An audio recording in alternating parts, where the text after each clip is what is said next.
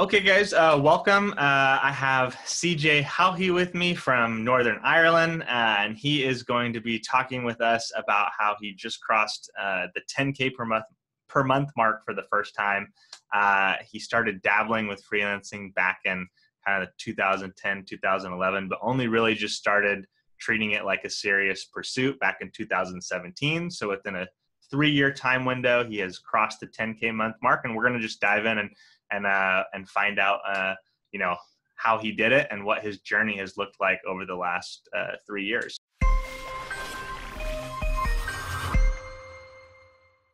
Uh, so welcome, CJ. Thanks for hopping on with me. Thanks, Jacob. Thanks for the intro. I'm glad to be here.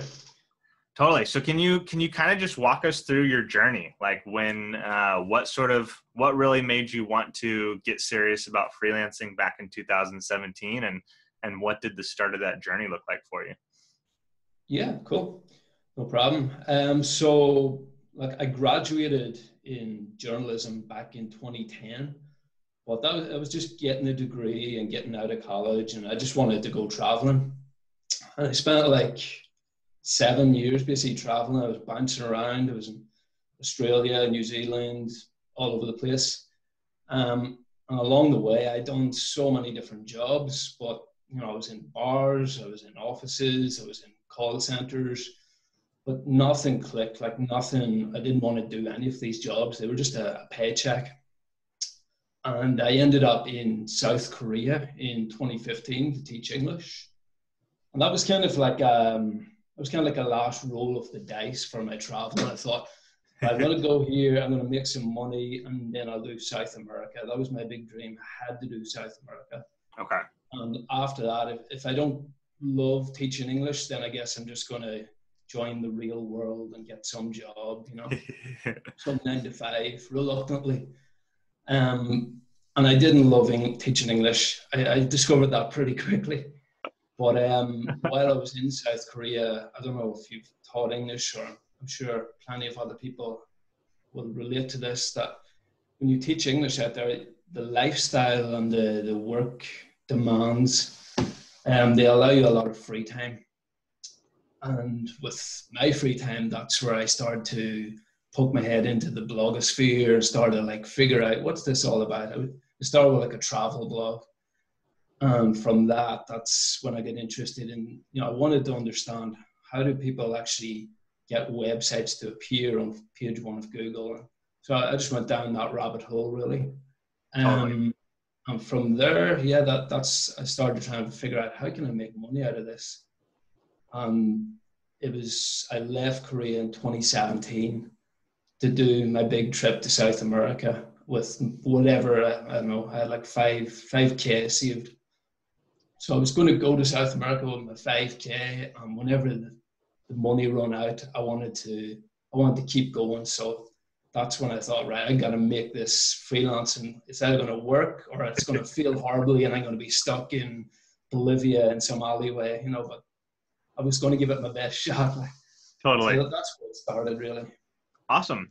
And what did kind of what did kind of getting serious about it look like? Like, what did uh, you know from a hey, we're just sort of dabbling our toes into the water till now I'm I'm actually going going after this. What did that transition look like? What were you what were you actually doing on a day to day basis to go pursue this in a more serious way?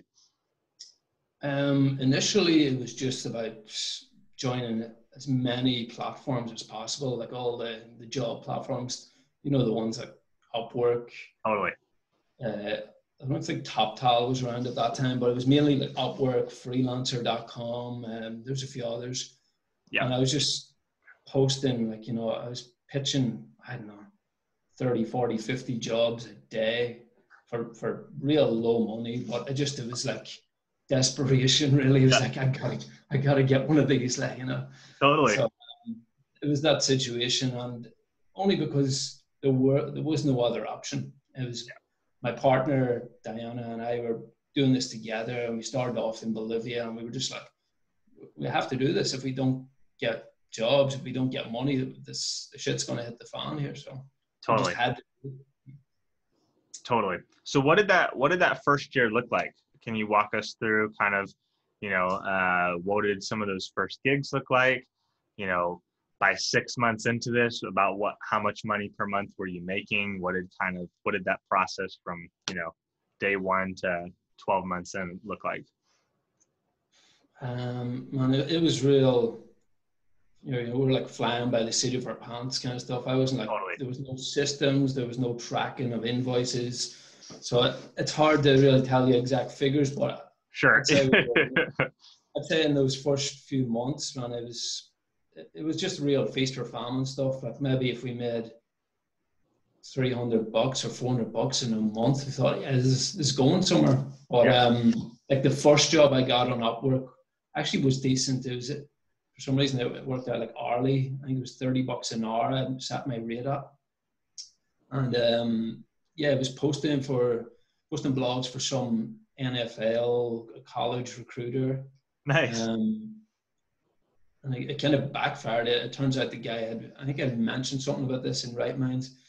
Um, the guy had been previously banned from Upwork. So when it came to pay me, after doing all the work, it just suddenly everything got shut down and my, my account was suspended. And then when I, when I uh-huh. managed to get it reactivated, I was like start from scratch and there was no sign of that, that client who's gone. Oh my like, God. Did you, did you get paid for it at least? Yeah, I mean, I really harassed Upwork until they paid me. nice. like I, I sent some Way to go. I, I, got paid, but it kind of soured everything with Upwork, and I just figured out no, the only way this is really going to work is by working directly with clients. Um, and it was shortly after, it was maybe like, uh, say like four months in that we landed. Uh, it was an agency we found on Upwork, and then we started working directly with this agency. Nice. Um, and that came up the perfect time because we moved from Bolivia to Chile, where the, the cost of living in Chile was just, you know, much higher. We were like, okay, that we really need something, and it just that agency came along at the perfect time. Nice. Um, and that, that was the beginning of 2018, probably like four months, three, four months into full time freelancing. Okay. Um, January 18. And then it, then it was pretty steady work. The agency was consistent, which was great. They were reliable. You, there was always work coming, but uh, yeah, looking back now, man, it was it was just a content mill. I don't want to I don't want yeah. to mention them. I don't want to throw anybody under the bus, but yeah, yeah, I wasn't a fan of that agency by the end. I, I always think of I always think of agencies as being like potentially one step up from like random Upwork gigs, but it's like it's a pretty small step, and you don't realize how poorly you're being paid and how ridiculous the terms often are until after you've been working with you know one-to-one clients that you land directly for a while and then you look back and go that wasn't nearly as good as the gig as it felt like at the time you know? But at the time they can be really good stepping stones.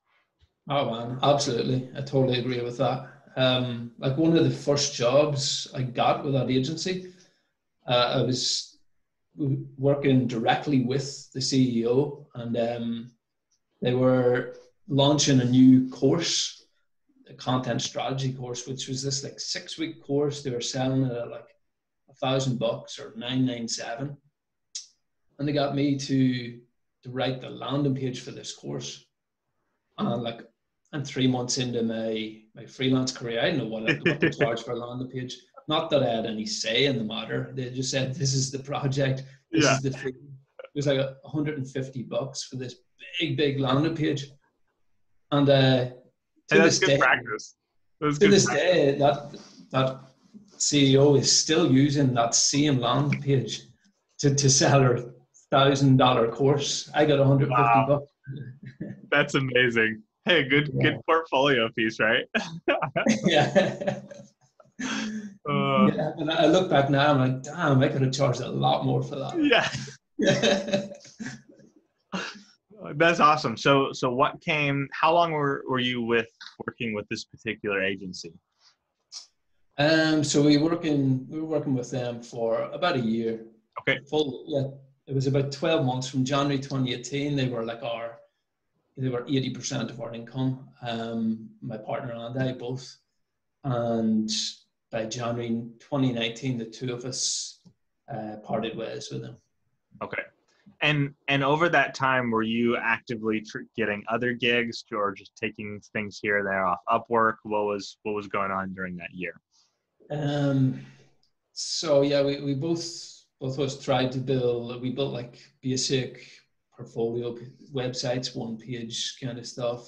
Nice. Um, they weren't very good. They didn't attract leads. We didn't do a lot of like, marketing around that. But we did continue pitching on Upwork, and I, by July of that year, so so probably like eight months into my freelance, full time freelancing, uh, I landed two more clients off Upwork, and then I immediately took them off up, you know, off that platform to work directly with them.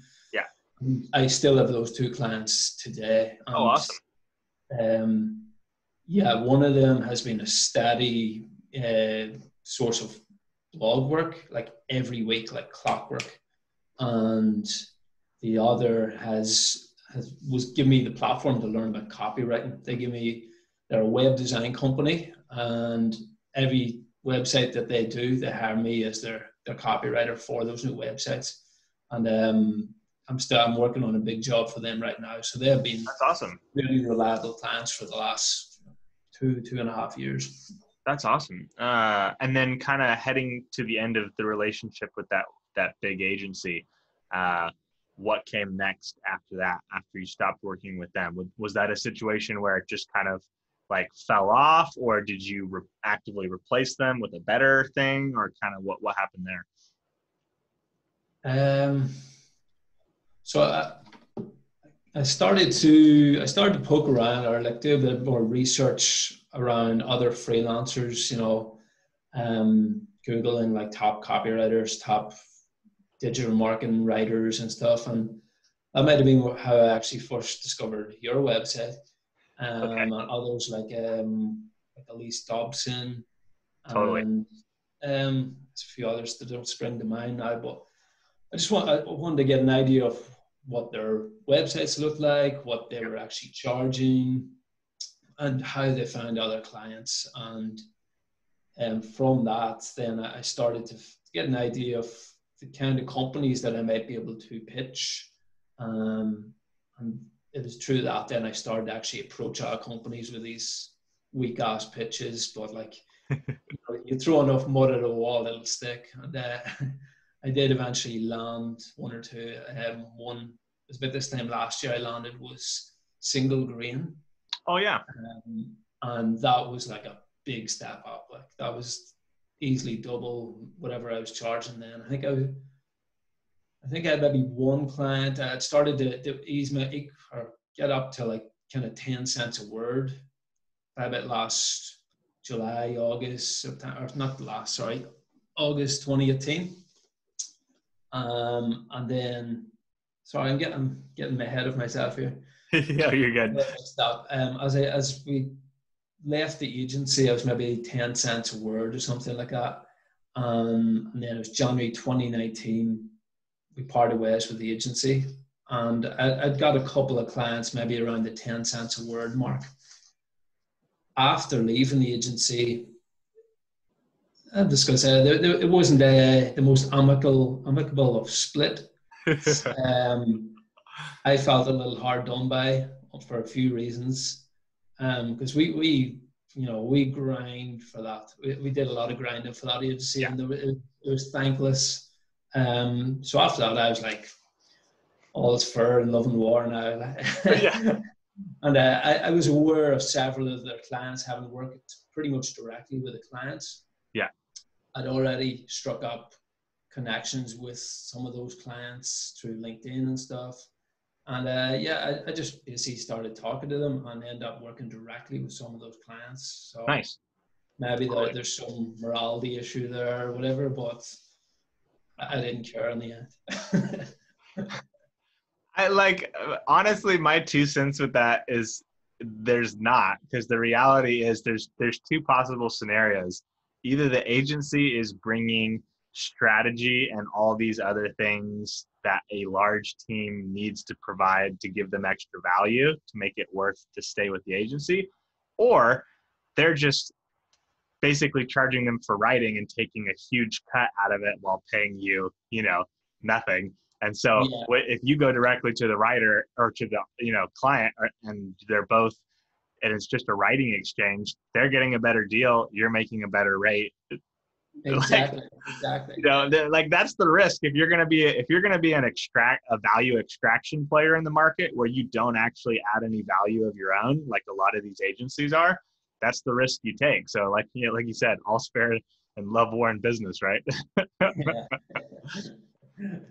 yeah. Well, um, yeah, that's what we thought anyway, and it, it worked out for us. And um, yeah, I wasn't really sorry to leave the agency in the end. I mean, at, at the highest rate, that agency was five cents a word. So uh, you're not, you're never going to grow it. As you said earlier, like I think agencies, uh, content mills, they're just a stepping stone. Totally. Uh, and kind of, kind of from then, so, so that was, that was about a year and a half in. So was that about a year ago, A year and a half ago? Uh, yeah, that was the start of, start of last year.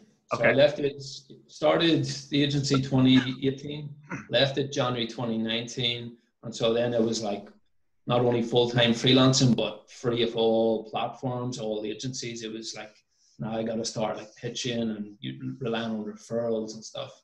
So this, yeah, so that that's sort of where you transitioned into the style of freelancing that I primarily teach of direct outreach, branding yourself, leveraging referrals talk right. to me about from there till now what has kind of that what has that journey looked like? Has it been a fairly gradual stacking of like blog writing clients? Has it been you know has there been a little bit of an up and down?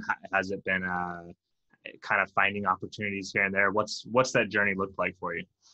Yeah sure. Um so trying to get the dates right yeah, we were we came back like we had been in South America for a while. We came back 2018 Christmas um, to Ireland, and then we went back again. We went back to Colombia in February 2019.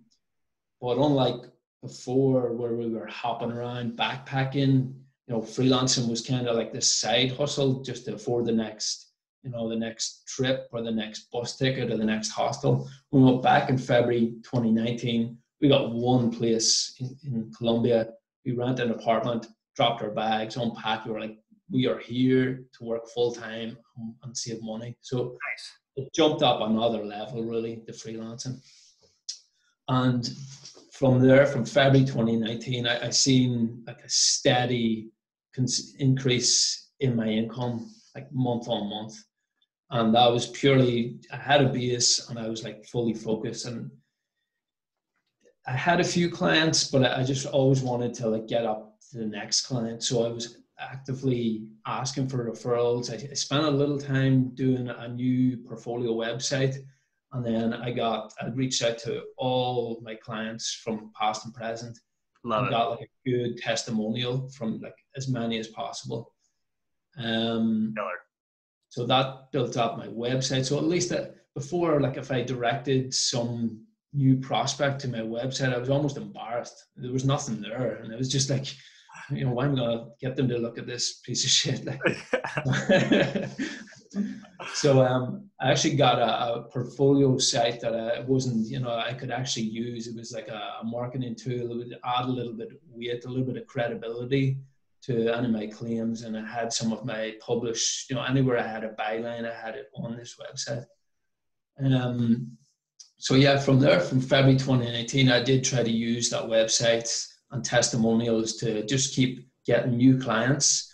And um, as you are a proponent for, like every time you get a new client, you know, you then have a little bit of weight that you can start to renegotiate with your existing clients. And it's like you're just trying to like stack everything up and just try and raise the rates with everybody and totally bump off the cheapest one. The, and when you, totally stair step the pricing up. And were you when when you say when I would be talking with a new potential client and send them to the site, where are those people coming from? Are those people coming from uh, cold outreach? Are those people coming from warm outbound, you know, outreach? Are those people coming from referrals? Are they coming from some sort of inbound marketing like LinkedIn? Uh, where where where are all those people coming from, and and what would be the biggest out of those buckets? What would have been what, do you, what would you say was the biggest bucket for you? Initially, probably the first half of 2019 was me. Um, it was outreach on my behalf. Probably killer. I didn't really look at uh, Upwork anymore. My main source actually became Pro Blogger, the, the job board on. Pro oh, that Blogger. job board. Okay, cool. Um, that was like the only like I left other job boards, but Pro Blogger tends to be some good ones on there. You have to look for them. But, that was um, that was my favorite when I still was doing job boards. Was definitely Pro Blogger by far. Yeah, I think I think it's because people have to pay to advertise there. Like I'm yep. pay a little bit more. You pay like seventy bucks to advertise a job for two weeks. So I figure that people are paying writers really low. They're not even going to bother uh, posting their their job ad on Pro yep.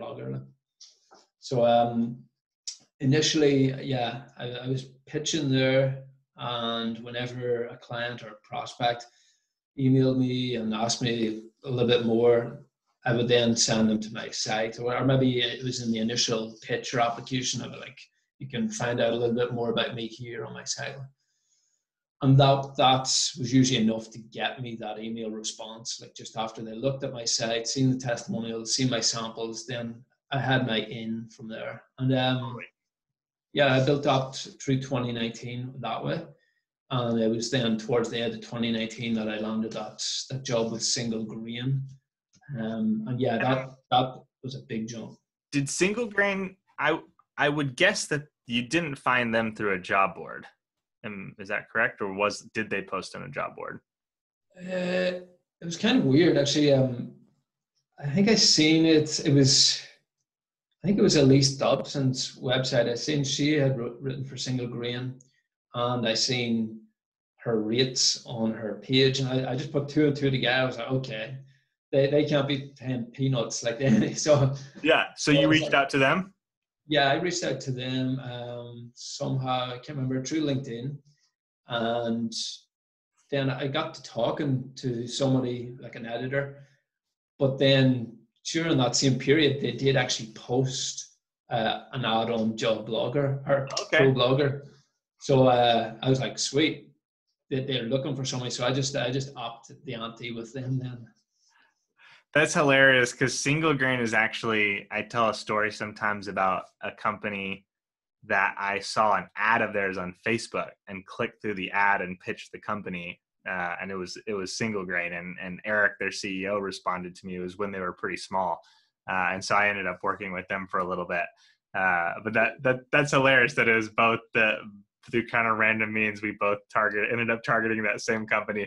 Now they're going to get a whole bunch of emails after this video comes out but uh, but but just I mean honestly what you described there is something I've you know I probably don't talk about it as often as I should, but I, it's it's something I teach in my course and that I've you know occasionally referenced, which is you know if you're writing in a niche, look look at the top writers, look for the top writers in the niche, the ones who are charging the top rates, and look at all the brands that they're writing for, because those are the companies that are paying brands a you know a high rate, and if you can do top quality work, you can get a top quality you know price from them, because you know people like Elise, people like myself, at this stage in our career, we almost never do unpaid guest posts anymore. We did a lot of them early on, but we no longer, you know, do stuff like that. So if we're if we're working with someone, they're paying a top rate. So if you can, you know, if you can find people like, you know, people like us, people whoever the whoever the Elise is in your niche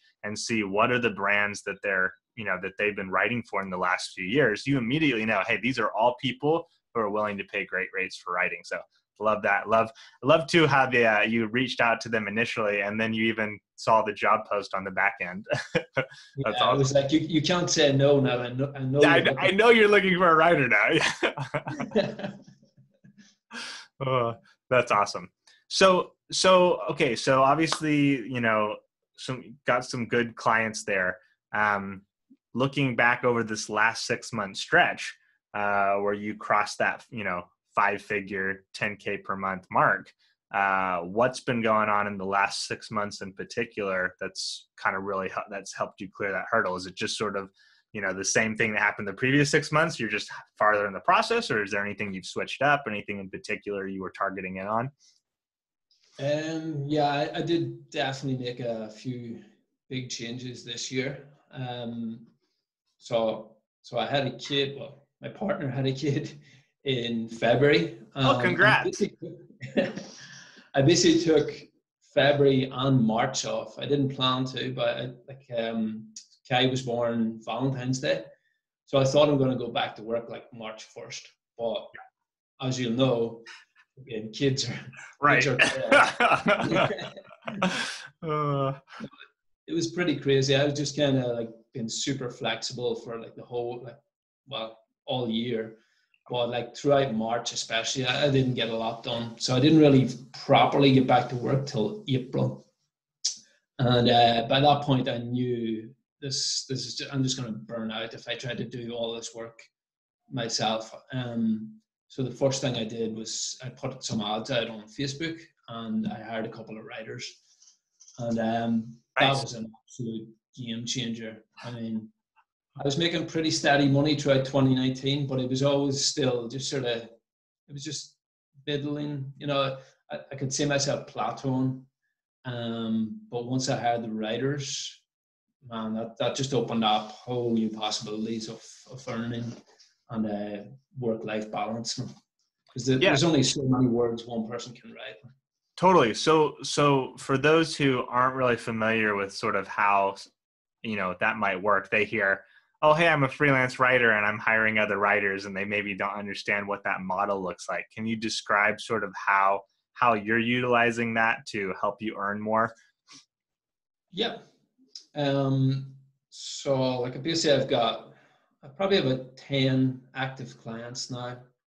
Um and I've kind of got them in like a tiered system. So when I hire a writer, I'll bring them in at the lower tier, and that when I say a tiered system, I mean like according to what the re- the clients paid me. I just put them like my top class, lower, and the, the lowest clients. Like that's where I'll, I'll bring in a writer and train them up. Um, for me, like it, the writer's main goal or main purpose is just to provide like a first draft. So I provide the brief I get a brief from my client. I'll add my own notes. I might even do the research part. I might bring in a lot more research. I might include source links that the writer can use for their own additional research. And I'll just have the whole structure down and then I'll send that to the writer. They'll take at it and then they'll submit a first draft. And then I'll, I can, for a higher tier client, I might co edit with them a little bit just to give the, the writer some feedback. But for the, the lower tier client, I'll just take that first draft, I'll pay the writer, and then I'll finish, polish it up, and move it on to the client. Totally. So you kind of have them do, kind of have them do the legwork of putting together that first draft, uh, knowing that you know the the finished product is not really going to be good enough to send to the client uh, but it helps take up a big time consuming piece for you. And as you edit it you're kind of helping teach this writer how to get better and you know raise their rates. A lot of uh, you know if, if you're not if you haven't heard of this concept before this is a pretty common thing especially for for higher tier writers. Uh, you kind of like you know it's essentially if you're wanting to tackle several big pieces especially in the long form space um, you know there's kind of different levels of uh, there's different kind of types of how the writing gets done and having that first draft done you know it's still going to be a, a, long way from something that could be presented to the writer but it kind of works in this dual almost like apprenticeship slash employment basis where you're you know you have these writers that you're teaching how to uh, improve their writing to get you know they're seeing they're getting their writing edited and they're getting to see the edits to say to see hey this is the difference between you can only go get you know five to ten cents per word from a, a, an end user client right now. I'm showing you how to edit it up to be worth 40 cents per word. Uh, and so it's kind of a it's kind of a, a, a, synergistic relationship that you'll see quite a bit in, in the writing space. Um, but so what made what kind of encouraged you to you know I know for a lot of a lot of writers who probably are at the point where they should be doing that are scared to because you're you know you're you're eliminating a chunk of the return uh, by paying other writers to help you. What what kind of motivated you to make that transition?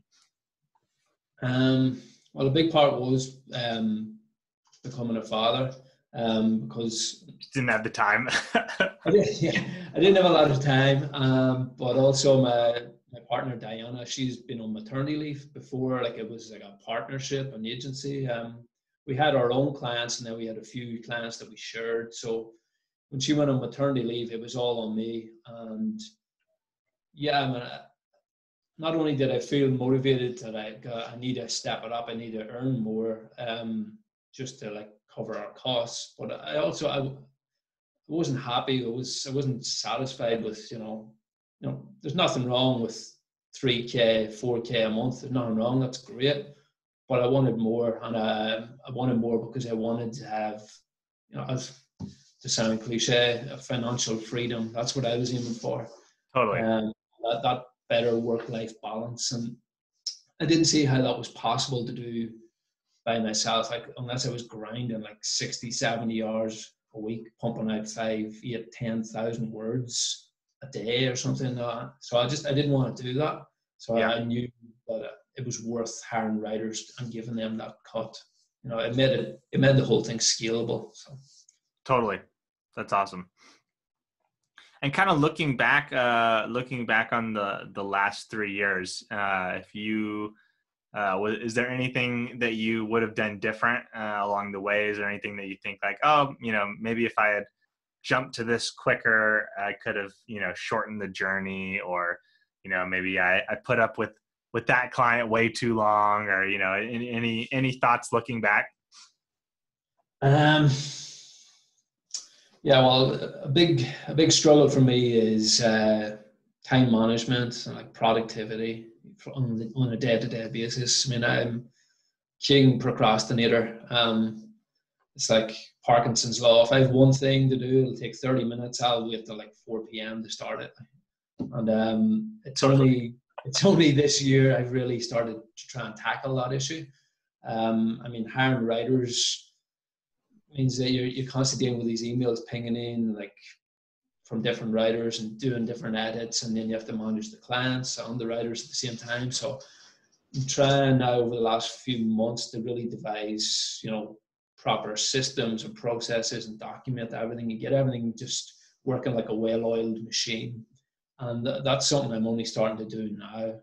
Or if I feel if I had done that a year or two years ago, I'd, I'd be way above where I am now. Um, totally. I've also just in the last couple of months started to get up at 5 a.m.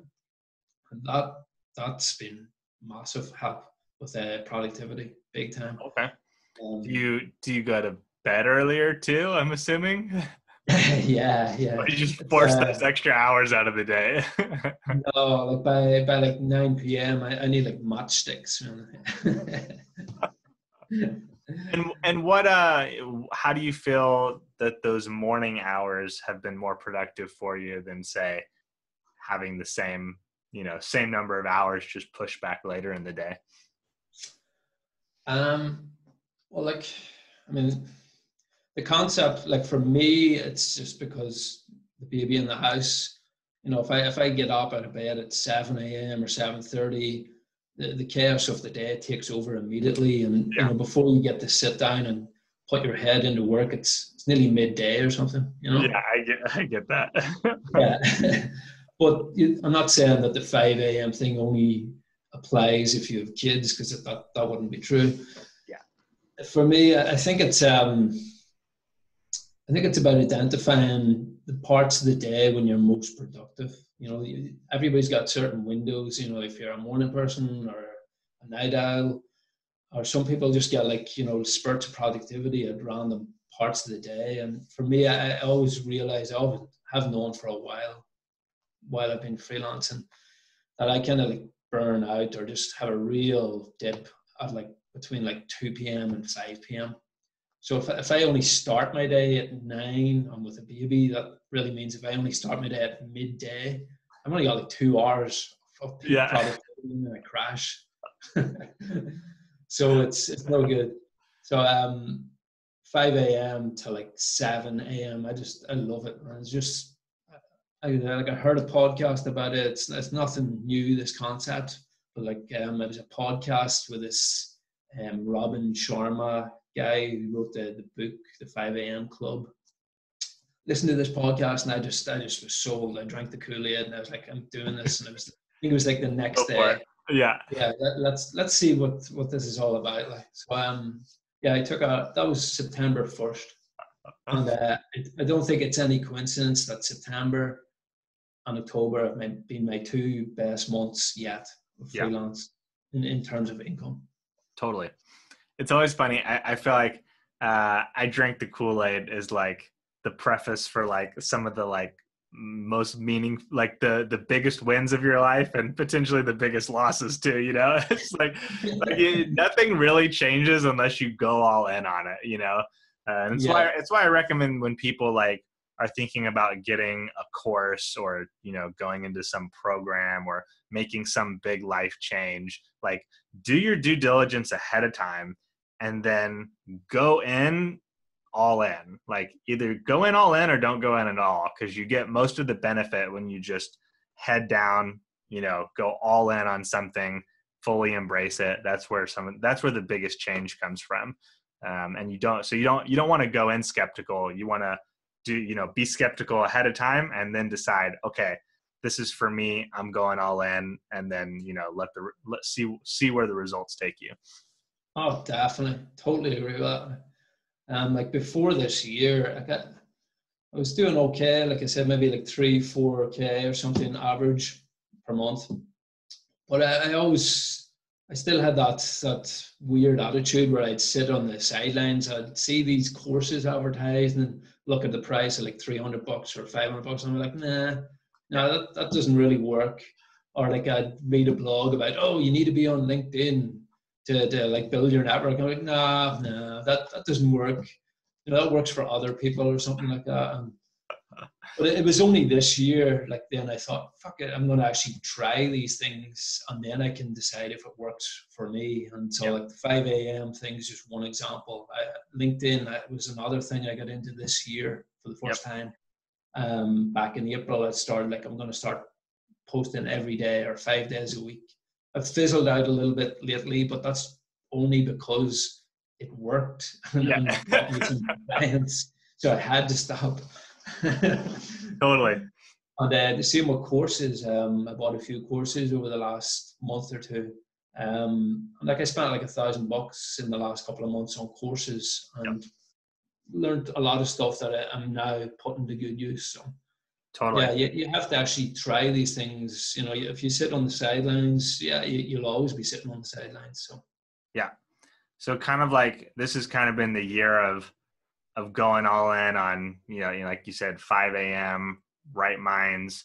Uh, you grab my course, some other courses as well. Just basically going, you know, we've made it work till now, but now now we're in now we're moving from it's working mode to like let's actually build what we want out of life you know intentionally and with the resources available yeah that, that's it like i mean all the resources are available to build whatever kind of career you want well in terms of freelancing remote work like it's yeah it's really all there for you at the touch of a button and it's just a matter of actually applying yourself and walking out them steps so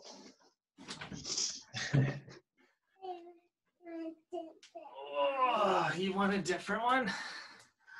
Hey, buddy. There we go. Speaking of uh, productivity killers, but they're so cute. yeah, they definitely are, yeah, I gotta go get this kid situated. But hey, thanks for hopping on, man. Uh, super appreciate you going through your journey. This was great stuff. Yeah, no worries. I appreciate it. Thanks for uh, thanks for giving me the opportunity. I uh, enjoyed it. Totally, man. Yeah, it was great chatting, and uh, I will see you in Write Minds. Well, do, buddy. All the best. Take Have care.